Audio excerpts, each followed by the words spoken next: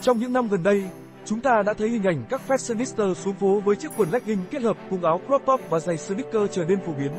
Phong cách thời trang thể thao không chỉ giới hạn trong các bộ trang phục thoải mái mà còn mở rộng sang phong cách xuống phố. Thậm chí, ranh giới giữa trang phục thể thao và trang phục hàng ngày càng trở nên mờ nhạt.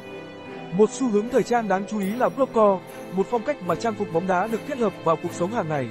Blockcore không chỉ đơn thuần là việc mặc áo bóng đá, mà là sự kết hợp năng động giữa các trang phục như quần jean hoặc chân váy ngắn. Không chỉ được áp dụng trong các sự kiện bóng đá, blockcore đã trở thành một phong cách thời trang riêng biệt được nhiều người yêu thích. Xu hướng blockcore càng trở nên nổi bật trong bối cảnh của World Cup bóng đá nữ đang diễn ra tại New Zealand và Úc. Sự kiện này đã thu hút sự chú ý của nhiều người hâm mộ và tạo thêm động lực cho xu hướng này. Trước đó, phong cách blockcore đã xuất hiện trên mạng xã hội và trong các MV nổi tiếng, được thể hiện bởi các ngôi sao hàng đầu. Ví dụ như Jenny trong MV Pink Venom khi khoác áo bóng đá Manchester United, tạo nên hình ảnh độc đáo cho phong cách blockcore. Nhiều người nổi tiếng khác như New Jean, Bella Hadid, Rihanna hay Hailey Bieber cũng đã thể hiện phong cách này. Những thương hiệu thời trang nổi tiếng cũng không bỏ lỡ cơ hội này. Balenciaga, Hermès Leon Dor, Gucci và Westwell Bonner đều đã tung ra các sản phẩm kết hợp phong cách bóng đá vào thời trang hàng ngày. Sự kết hợp này mang đến những sản phẩm sáng tạo và hợp thời nhất, đáp ứng nhu cầu của thị trường thời trang đang thay đổi. Tương tự như phong cách blockcore, xu hướng thời trang tennicore đang dần lan tỏa đến mọi sản diễn, mang đến một tầm nhìn mới về thời trang thể thao sang trọng. Sự kết hợp tinh tế giữa nét hoài cổ và hiện đại, giữa sang trọng và năng động, đã tạo nên một phong cách độc đáo trên đường phố. Phong cách technical thể hiện sự giao thoa giữa thời trang và thể thao qua những bộ trang phục độc đáo. Chiếc váy ngắn xếp ly thể thao kết hợp cùng giày lười và tất ống, cùng áo crop top ôm sát cơ thể, tạo nên những bộ trang phục đặc trưng cho phong cách này.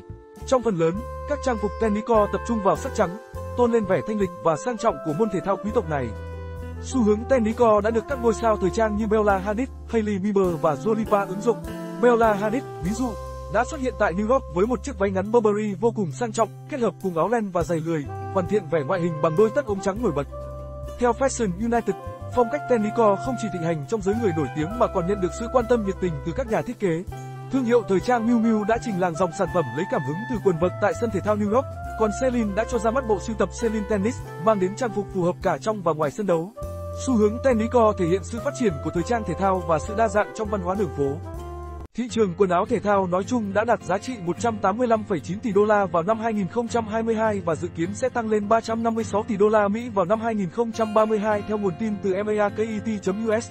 Tuy nhiên, báo cáo mới từ Lon Matrix đã làm sáng tỏ về mặt khía cạnh quan trọng khác của ngành giá trị tác động truyền thông, MIV, thay vì chỉ xoay quanh con số tổng giá trị thị trường.